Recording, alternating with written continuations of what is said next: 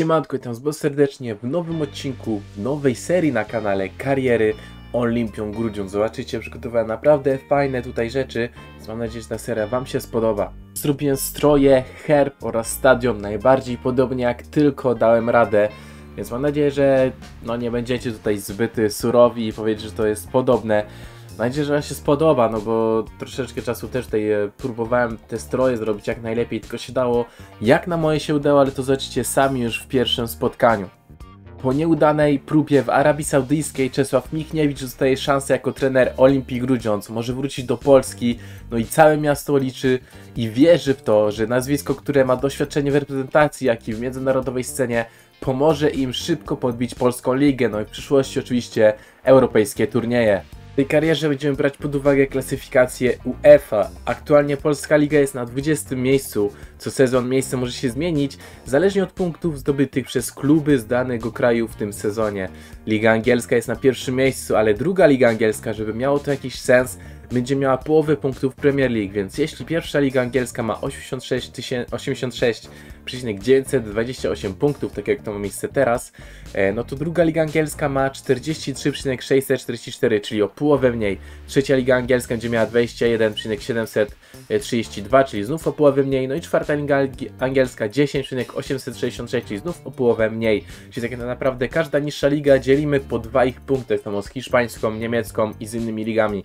E, więc możemy ściągnąć zawodnika z czwarty, zawodników z czwartej angielskiej ligi tylu ile chcemy, bo jest uważana za gorszą ligę niż nasza. Mam nadzieję, że rozumiecie te zasady. E, więc w tym sezonie możemy ściągnąć zawodników z czwartej ligi angielskiej, z trzeciej niemieckiej, z Cypru, z Rumunii, z Węgier, Irlandii oraz Finlandii. E, możemy także ściągnąć maksimum jednego zawodnika na sezon z lepszej ligi, czyli możemy nawet ściągnąć rezerwowego z Premier League czy z Championship, no możemy ściągnąć jednego zawodnika z lepszych lig. Możemy także ściągnąć e, jednego zawodnika z ekstraklasy z lepszego klubu, czyli jeśli ten sezon skończymy, nie wiem, na dziesiątym miejscu, a Lech Poznań skończy na drugim, no to możemy ściągnąć jednego zawodnika z Lecha, a tak no to będziemy mogli ściągnąć oczywiście zawodników z niższych, e, z klubów, które zajęły niższe miejsce w lidze niż my.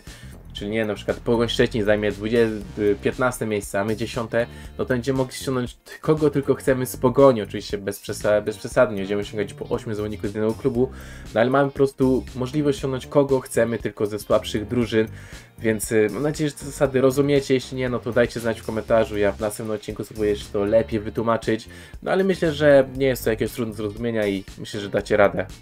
Zrobiłem wszystkich zawodników Olimpii na tyle ile się dało, oczywiście tyle co pozwoliła mi gra, e, więc mogę zmienić ich nazwiska i mogę troszeczkę dopasować wyglądy, bo nie mogę zmienić e, tych piłkarzy tak naprawdę to FIFA ich wygenerowała, więc ja spróbowałem ich podpasować jak tylko się dało do tych, e, jak wyglądają ci piłkarze.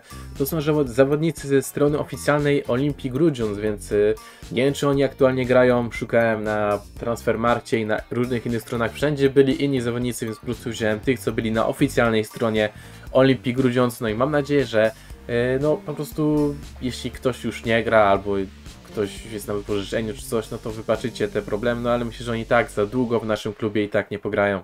No i prezentacje skończone i zasady wytłumaczone. Mamy pierwszy transfer naszego klubu, jest to Makater.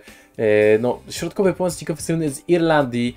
19-latek przychodzi do nas za 80 tysięcy euro, będzie zarabiać 500 euro tygodniowo, więc no nie jest to najdroższy transfer, nie jest to największy zarobek, no ale to jest już połowa praktycznie naszego budżetu, więc naprawdę sezon będzie ciężki. No i widzimy, McCater jest naszym nowym zawodnikiem. Drugi zawodnik to także Irlandczyk, tym razem to Dun, prawy obrońca, 20-latek, przychodzi do nas na, za 90 tysięcy euro, więc znów no, może to nie jest duża kwota dla w świecie piłki nożnej, ale dla naszego klubu to jest naprawdę dużo. Będzie on zarabiał 600 euro y, tygodniowo, więc to też y, no, jest już jakiś zarobek. Trzeba przyznać, że u nas najlepszy zawodnik zarabia tylko 2000 i to jest nasz napastnik, który jest naprawdę gwiazdą tej drużyny, którego zresztą widzieliśmy tam na ekranie, bo jest też kapitanem. No i nasz nowy nabytek Dun. niestety ma tutaj zły strój, no ale jest naszym nowym prawym obrońcą. Pierwszy mecz w tym sezonie dla nas to mecz z Widzewem Łódź. No mają lepszą drużynę, ale myślę, że tak jak wcześniej każda drużyna w tym sezonie w Ekstraklasie, no i pierwsza okazja w 70 minucie jest dla nich. E, jest rzut rożny wybity przez Olszewskiego, ale Pawłowski rzuca w pole karne i E, No, Housek strzela na 1 do 0, no i takim wynikiem kończy to spotkanie. Przegrywamy nasz pierwszy mecz 1 do 0, szkoda, bo było blisko.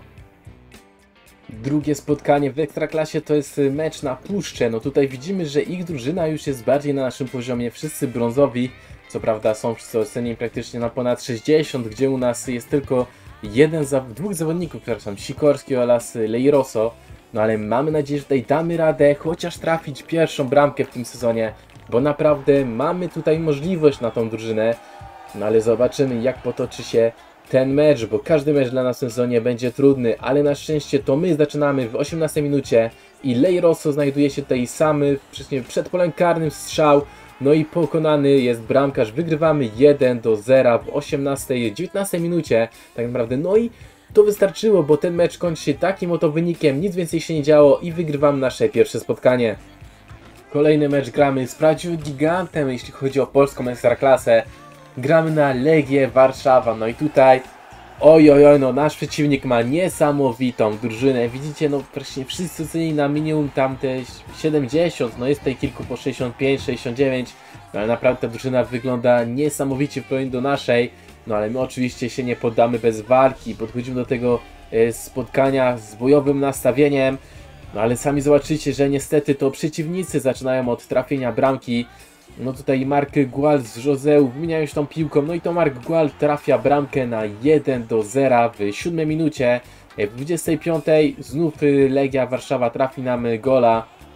Tutaj penetracja w pole karne przez pomocnika Legii, no już jest 2 do 0. Na szczęście my się nie poddajemy. W 30 minucie tutaj mamy atak. Jest Nawrocki, wrzutka w pole karne i Stanisławski trafia bramkę na 2 do 1. No ale to nie wystarczyło, bo Kapulska, który wszedł z ławki w 72 minucie strzela na bramkę, no jest 3 do 1. No i takim wynikiem kończy się to spotkanie. Jest surowo, no bo aż 3 do 1, ale mimo wszystko myślę, że dobrze walczyliśmy w tym meczu. W czwartej kolejce mierzymy się z Koroną Kielce, no i tutaj widzimy, że już szanse są o wiele większe niż z, z Legią w poprzednim meczu. Tutaj widzimy dużo brązowych zawodników, nawet y, po 50 oceny ogólnej, tak jak y, nasz skład mniej więcej tutaj widzimy Kukarczyk czy Konstantyn, więc naprawdę szanse mamy w tym spotkaniu, no i musimy to wykorzystać, że tak, że wychodzą troszeczkę rezerwową drużyną, myślę, że tutaj zlekceważyli nas, no ale zobaczymy, czy nasza drużyna sobie da e, radę. Mamy naszych zawodników, którzy są w formie po ostatnich meczach, no i to pokazują, bo zobaczcie, już y, w 13 minucie Jarzy tutaj ma tą piłkę, Olszewski z do Jarza i tutaj jest Wutan, który podaje z do Olszewskiego, no i ten e, trafia bramkę na 1 do 0, więc fajnie prowadzimy w tym spotkaniu. No ale to nie wszystko, bo jeszcze tutaj z rzutu różnego wrzutka w pole karne wybita. E, Kurowski ma tą piłkę, podaje w pole karne, jest Nawrocki. No i Nawrocki strzela i mamy 2 do 0, więc prowadzimy dwoma bramkami w 60 minucie. Teraz trzeba tylko utrzymać ten wynik, no ale niestety e, to teraz e, przeciwnicy atakują tej Duny, słaba interwencja, no i Konstantyn e, daje radę trafić bramkę na 2 do 1, no i w 80 minucie e, znów atak tutaj e, przeciwników, no i strzał sprzed pola karnego po ziemi przy słupku, dał radę pokonać bramkarza. No i niestety to spotkanie kończy się wynikiem 2 do 2. Szkoda, bo prowadziliśmy 2 do 0 w 60 minucie, no ale niestety Kolejne spotkanie to jest mecz na Śląsk-Wrocław, no i widzimy, że ta drużyna ich nie jest najlepsza. Myślę, że tutaj wyszło trochę rezerwowych zawodników, bo jednak radzą sobie bardzo dobrze aktualnie w sezonie w Ekstraklasie, no ale ten Exposito na ataku e, może tutaj nas e, pokarać trochę, ale miejmy nadzieję, że ta pomoc i ta obrona i szczególnie bramkarz, który jest oceniony tylko na 55 da nam tutaj okazję i że będziemy mieli szansę, żeby wygrać to spotkanie, no a chociażby trafić jedną czy dwie bramki. No i zaczyna się niestety nie najlepiej, bo po rzucie rożnym to Paluszek trafia nam bramkę na 1 do 0 w 46 minucie, tuż przed przerwą. Na szczęście dajemy radę odpowiedzieć. W 70 minucie piękna wrzutka tutaj Nawrocki odgrywa i Stanisławski pięknie e, przerzucił sobie tą piłkę na prawą nogę, no i trafia gola i w 80 minucie Stanisławski podanie jest Nawrocki, no i ten fenomenalnym strzałem tak naprawdę zewnętrzną częścią stopy pokonuje bramkarza, no i wygrywamy to spotkanie 2 do 1, więc kolejne 3 punkty w tym sezonie. Kolejny mecz to spotkanie z Piastem Gliwice, no ale tutaj Jest naprawdę dobra drużyna, Wilczek, y, Kądzior, Czerwiński, naprawdę jest tutaj dużo dobrych zawodników, no i zaczynają to oni od trafienia bramki w 18 minucie. Lewy obrońca, który wszedł w pole karne, tutaj piłka się trochę podbijała, no ale dał radę to wykończyć i wygrywają z nami 1 do 0 już.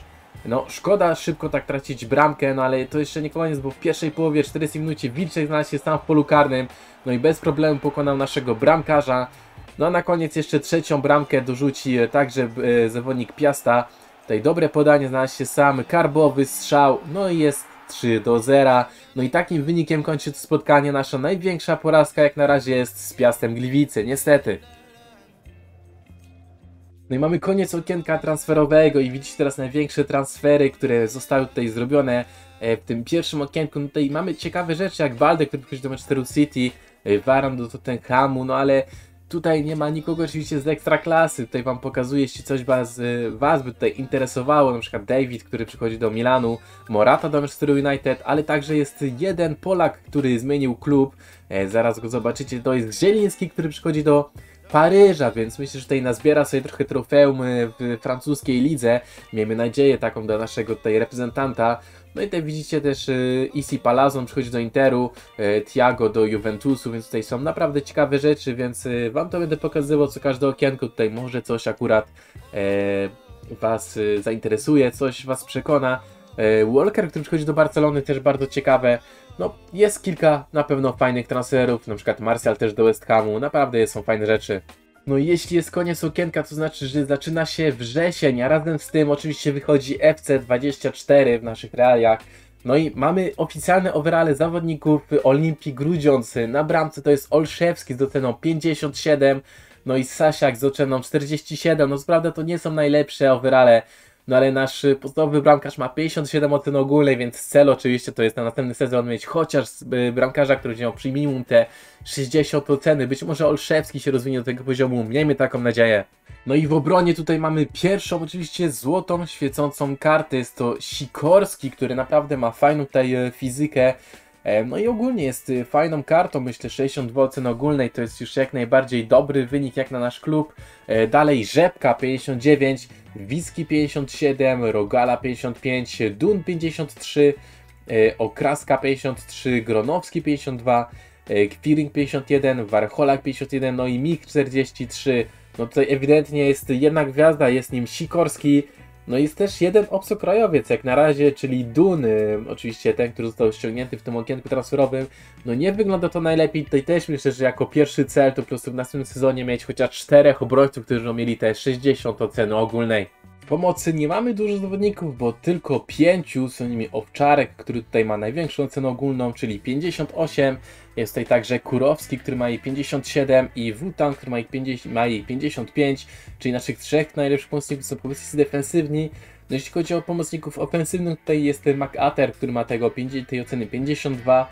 No i Jarzec, który ma jej 51, więc no tutaj są też mocne braki, szczególnie jeśli chodzi o ofensywę. No 52, najlepszy zawodnik to jest bardzo słabo. No ale Owczarek, Kurowski już ponad 55, więc y, tutaj oczywiście tak jak wszędzie, no cel to jest jak najszybciej mieć tych y, pomocników, czyli dwóch pomocników defensywnych, jednego ofensywnego na te minimum 60 oceny ogólnej na przyszły sezon. No jeśli chodzi o atak, no tutaj robi się ciekawie, bo Stanisławski ma 64 oceny ogólnej, jest naprawdę fajna karta, już brakuje tylko jednego overalla, żeby być srebrną, więc być może to będzie nasza pierwsza srebrna karta. Dalej, Leiroso Junior, no 61 oceny ogólnej, także napastnik. Brazylijczyk, to ciekawe, on już był w Olimpii, więc bardzo fajnie, że jest pierwszy, jedyny tak naprawdę obcokrajowiec, który tutaj był wcześniej w Olimpii. Dalej Olszewski, nasz prawy pomocnik, prawy skrzydłowy, który jest świecącą kartą, bo ma 72 tempa aż, więc dostał świecącą kartę. E, dalej Gojko, czyli nasz rezerwowy na skrzydłach, 55 oceny ogólnej, Nawrocki jako nasz lewy pomocnik, no i Doba jako ten trzeci napastnik e, w razie kontuzji, więc no tutaj widzicie 49 oceny ogólnej, e, będzie bardzo mało grał, no ale tutaj naprawdę bardzo fajne mamy tutaj te karty w ataku, jest Stanisławski i Lejrosu, obydwie karty ponad 60 oceny, więc tutaj jest naprawdę fajnie, no ale te skrzydła jednak trzeba jeszcze troszeczkę je polepszyć, miejmy nadzieję, że Olszewski, Nawrocki albo Gajko bardzo szybko wskoczą na te 60 oceny, które jest wymagane tak naprawdę na każdej pozycji. Kolejny mecz to jest mecz z Pogonią Szczecin. No i tutaj także widzimy, że prawie cały skład jest u nich srebrny, więc naprawdę no, poziom jest wyższy. E, zagram na Grosickiego, więc Michniewicz no, powraca do swojego kolegi z reprezentacji, swojego zawodnika oczywiście, bo Michniewicz był wtedy trenerem.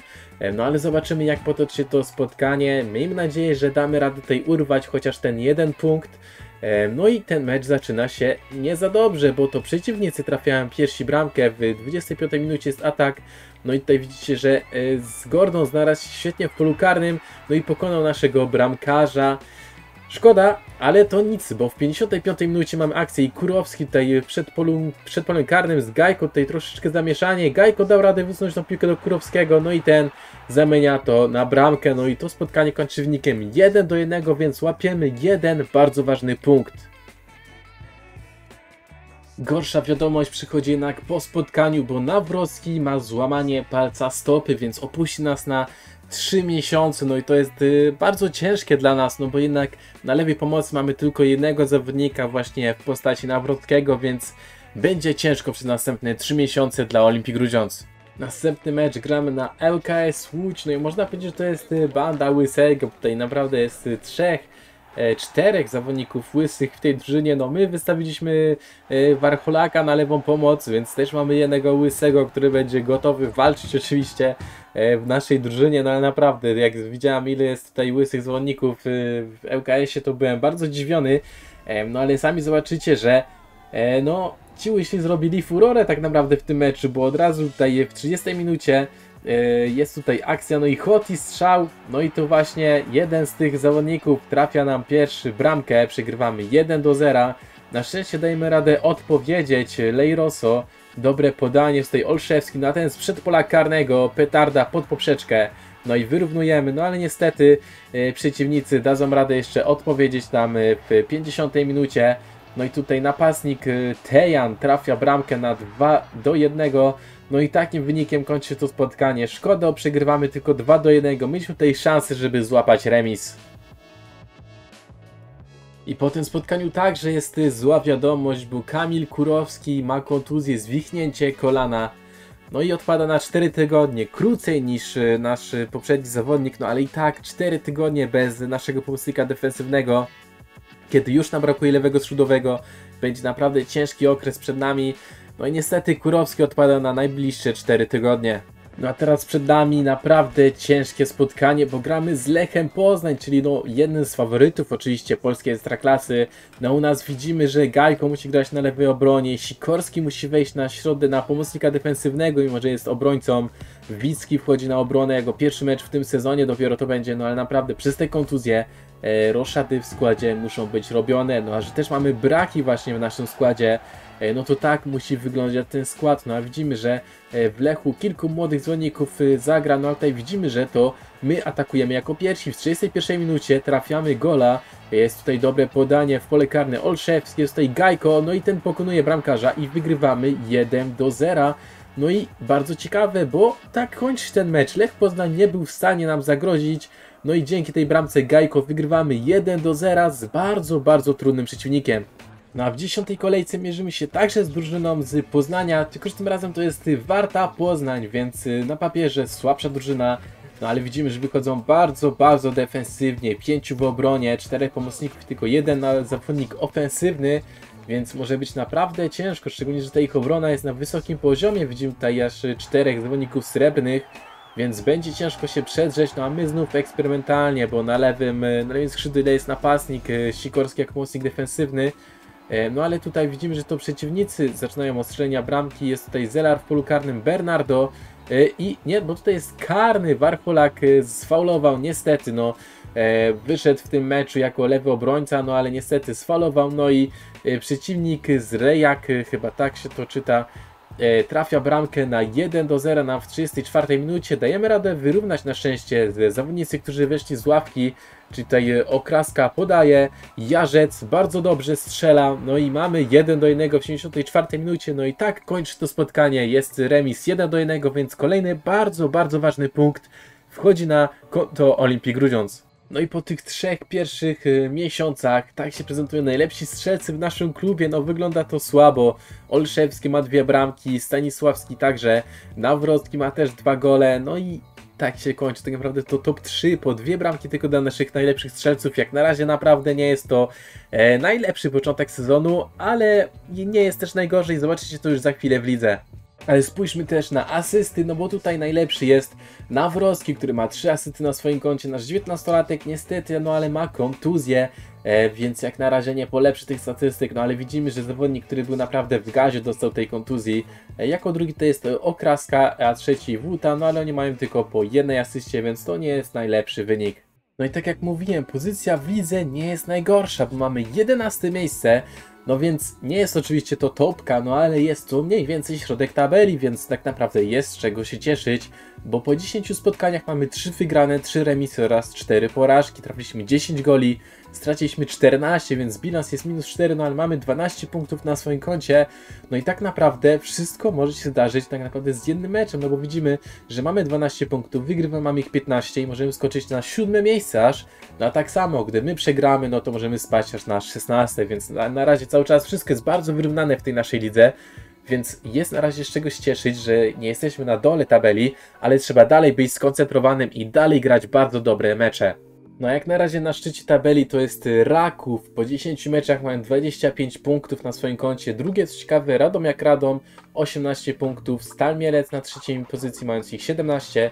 Czwarta Legia Warszawa ma 16 punktów. A na szóstym miejscu dopiero Lech Poznań, który ma ich tylko 14, więc no, jak na razie ten Radomiak i Stal Mielec, y, trochę tutaj zdziwienie, że są tak wysoko, no ale Raków y, swoje miejsce faworyta ma bardzo silne, no 25 punktów, masz 7 y, punktów przewagi na drugą pozycją, więc jak na razie Raków totalnym faworytem w naszej lidze. Jeśli chodzi o najlepszych strzelców, no to tutaj niestety nie ma żadnego z naszych zawodników. Jako pierwszy tutaj jest Machado, ma ich 7, drugi jest Nowak, który także ma ich 7, no i na E, trzeciej pozycji jest Ishak, no ale to jest e, kilku zawodników, którzy mają po 6 goli, więc tak aktualnie wyglądają najlepsi strzelcy w ekstraklasie. Jeśli chodzi o asysty, no tutaj faworytem także jest zawodnik e, z Radomiaka Radom, tym razem to Wolski. Na drugiej pozycji jest tutaj Munoz z Zagłębia Lublin, no a na trzeciej jest Gual z Legii Warszawy. No ale co ciekawe, tutaj mamy już naszego reprezentanta, jest, naszego reprezentanta, jest to Nawrocki na ósmej pozycji, który także ma 3 asysty, więc tak naprawdę on ma 7 meczy zagranych, więc tak naprawdę on jest drugi w tej klasyfikacji, więc bardzo dobry wynik jak na razie dla Nawrockiego, no ale też trzeba przyznać, że konkurencja tutaj e, też nie ma największych wyników wykręconych jak na razie w lidze. No a czyste konta jak na razie w lidze najlepszy ma bramkarz Piasta Gliwice Plach, który ma ich aż 5 w 8 meczach. Na drugiej pozycji jest Jałucha z Stalu Mielec, który ma ich 3. No i Grobelski z Warty Poznań, który ma także 3 czyste konta. E, dodam też tutaj, że na 10 miejscu jest Olszewski, czyli nasz bramkarz z Olimpii Grudziądz, który ma dwa czyste konta w 10 meczach, no to nie jest y, dobry wynik, no ale jednak jest na 10 miejscu, więc jest jednak y, top 10 najlepszych bramkarzy aktualnie w lidze, więc zawsze to jakiś plus dla naszego składu. Zobaczmy też, jak sobie radzą polskie kluby w europejskich pucharach, no bo oczywiście to jest bardzo ważne, jeśli chodzi o transfery do naszego klubu w przyszłych sezonach, e, bo czym więcej punktów tutaj zbiorą, tym nasza liga będzie wyżej w klasyfikacji.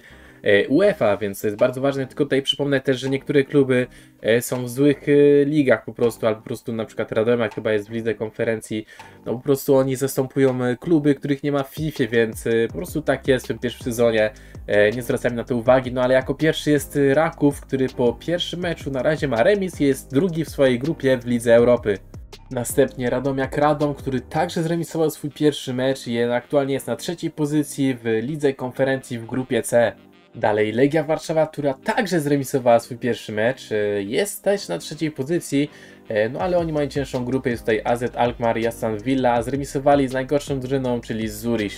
No i ostatni reprezentant naszej ligi w, w tych pucharach europejskich to jest Śląsk Wrocław, no ale oni przegrali e, pierwszy mecz w lidze, w grupie oczywiście, z Las Palmas. No i niestety aktualnie są na trzecim miejscu, co prawda, no ale E, przegrane spotkanie nie daje żadnych punktów do naszej klasyfikacji UEFA, więc jak na razie to Śląsk Wrocław jest najgorszy, jeśli chodzi o tych reprezentantów Polski w europejskich pucharach. No i na dzisiaj to tyle. Mam nadzieję, że się podobało. Odcinki będą e, co jakiś czas, nie wiem dokładnie co ile, w, między, w międzyczasie będzie Imperializm oczywiście na kanale, który też Wam się bardzo podoba. No a że imperializm i taka kariera, gdzie w jednym odcinku robię 3 miesiące, aż e, zajmuje bardzo dużo czasu, więc będzie na przemianę, będzie imperializm, potem Olimpii trochę, potem znowu imperializm, więc e, no zobaczymy jak to wyjdzie. Oczywiście dajcie znać w komentarzach, czy Wam się podoba, jeśli zobaczy, naprawdę Wam ta seria się podoba, no to będę próbował robić ją jak najczęściej, no ale naprawdę to jest bardzo czasochłodne. E, No i co, ja Wam dziękuję za oglądanie, mam nadzieję oczywiście, że zostawicie subskrypcję i lajka, żeby mi pokazać, że to się Wam podoba, no i dajcie oczywiście znać w komentarzu, tak jak mówiłem, czy Wam ta seria się będzie podobać. Ja Wam dziękuję za oglądanie, widzimy się już niedługo, mam nadzieję, że w drugim odcinku z tej serii. Cześć!